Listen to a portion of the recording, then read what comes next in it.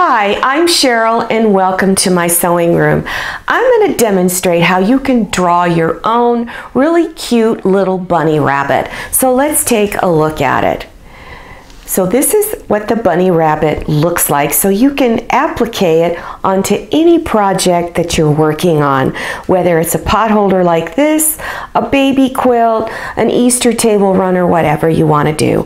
All it is is two circles and these little funky ears up here. But let me show you how you can draw it really symmetrical because that's the key because I can't draw worth a hoot so I need all the help I can get.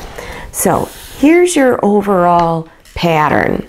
Now the height of this bunny is six inches and it's three inches at its widest, widest point right there.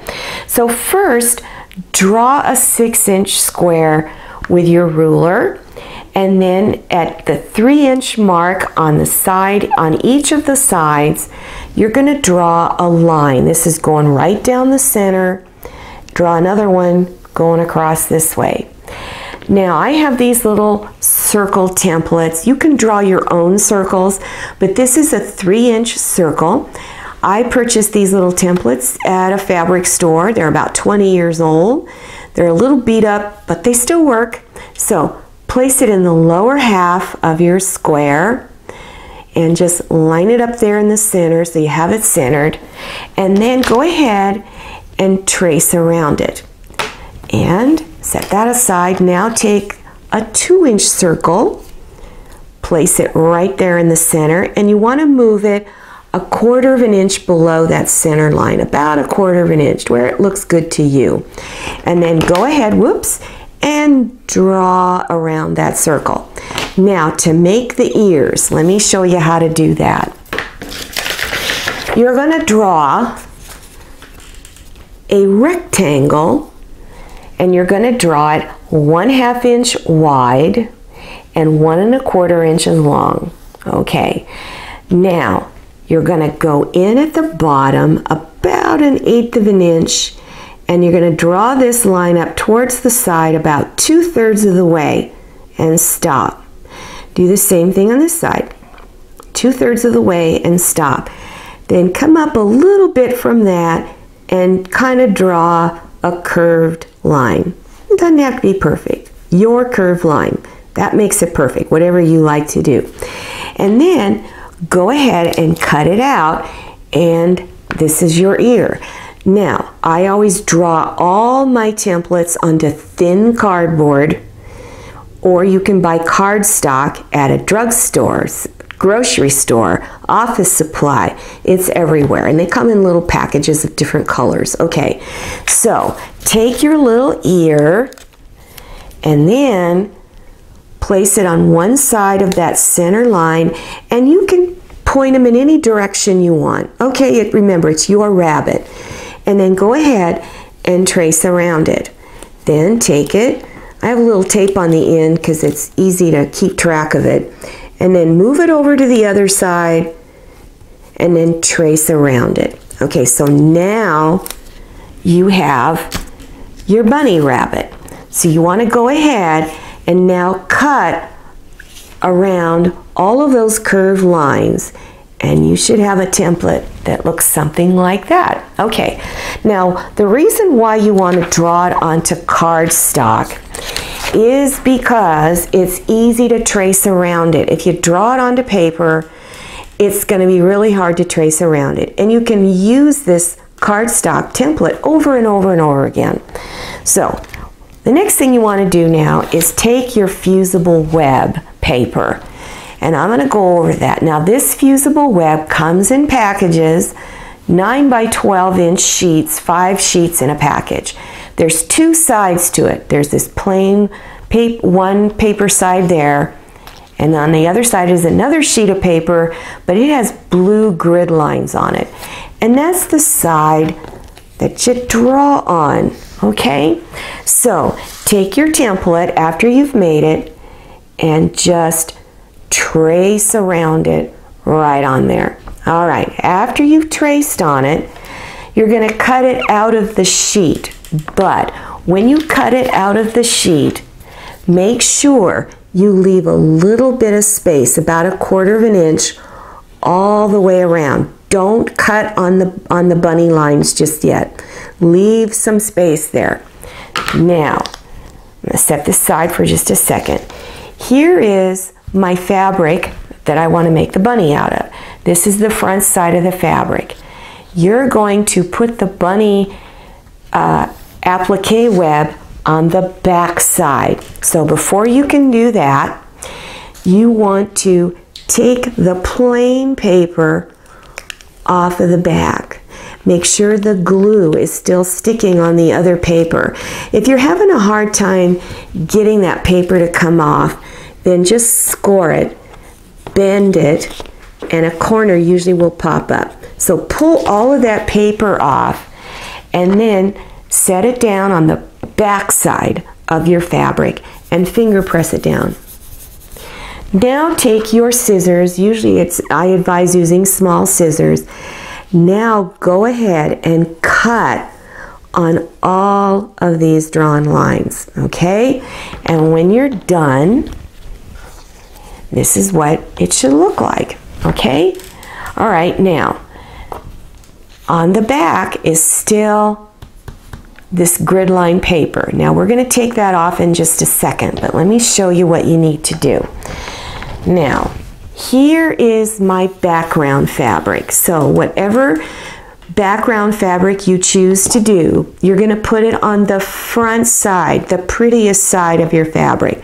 See how this is much lighter here? Don't put it there. Put it on the front side of your fabric.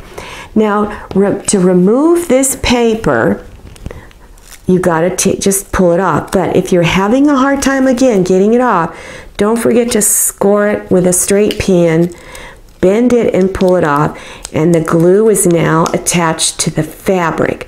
Go ahead and pull this all off, then lay it down onto your background fabric. Now, don't finger press it down just yet. Just place it there. And if it's off center, you don't like the way it looks, you can still lift it up and place it back down again. Once you've got it the way you like it, finger press it real, real good all over it. Okay, now go to your ironing board. Do not do this on your cutting mat, okay? Otherwise, your cutting mat's probably gonna melt. So we don't wanna do that. So do this at your ironing board. You're gonna take a damp cloth and place it over your applique. Now, I usually just keep a spray bottle next to my iron and I just spray it down till it's damp, okay? Or you can go to your sink and get it wet, but I, I like my spray bottle better. Now read the instructions on your package of fusible web so you know how long to press your iron on it. So you're going to use a hot iron with steam. You're going to set it down. Now, this iron is a small iron and it covers the entire applique. All right, so hold it there, give it a little burst of steam, hold it down for whatever number of seconds it says. 12 to 15 seconds is probably what it's going to say. And then you are done. It is now permanently fused on to your background fabric. Now I usually let this cool down before I do my little app machine applique stitches. So let's go over applique stitches, okay? Now, all of the sewing machines that are manufactured recently have some type of decorative stitching on it. Very few come with just a straight stitch anymore. So most of the machines do have something called a satin stitch. My machine has a, medi a small, a medium, and a large stitch. This is a very popular stitch to use on machine applique. For this bunny that I did, I used the medium one right there. But also look on your machine to see if there are other types of stitches that you could use on the edge of applique patterns that you choose to create.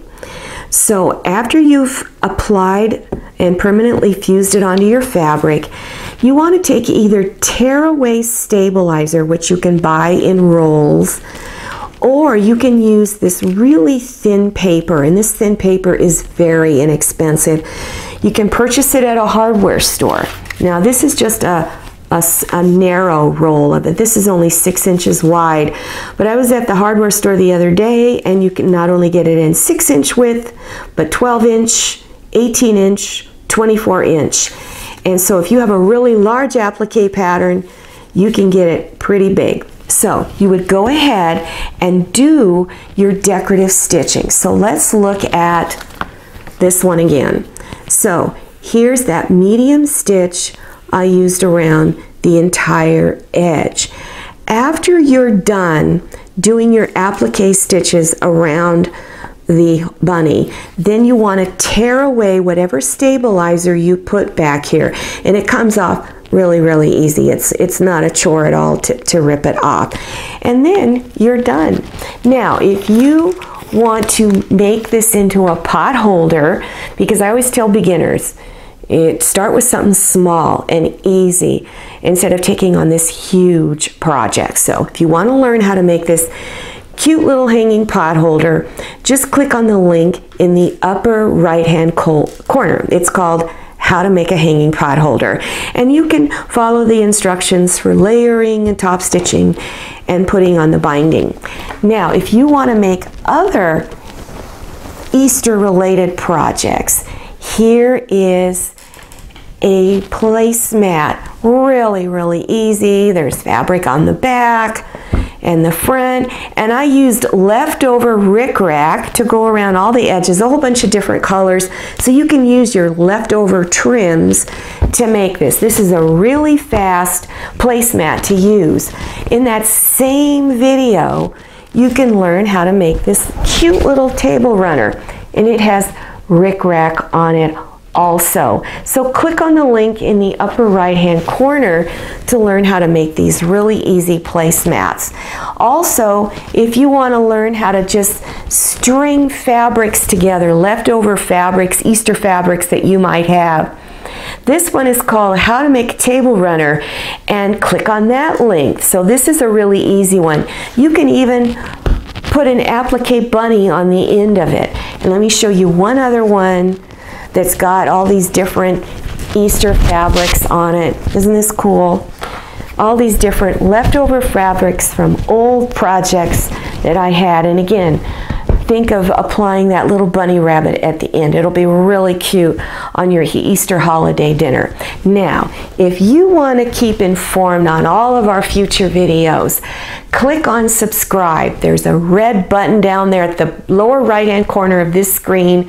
Red says subscribe. Or click on that round picture of my face floating up in there in the left hand corner. Click on either one of those. YouTube's going to prompt you for that email address. So very important. Enter that information and the next time I have a new video, YouTube will send you a real brief email with a big old button in that center. You click on it and it takes you directly to my latest video. I'm Cheryl and I'm so glad you came to my sewing room and I'll see you next time and happy sewing.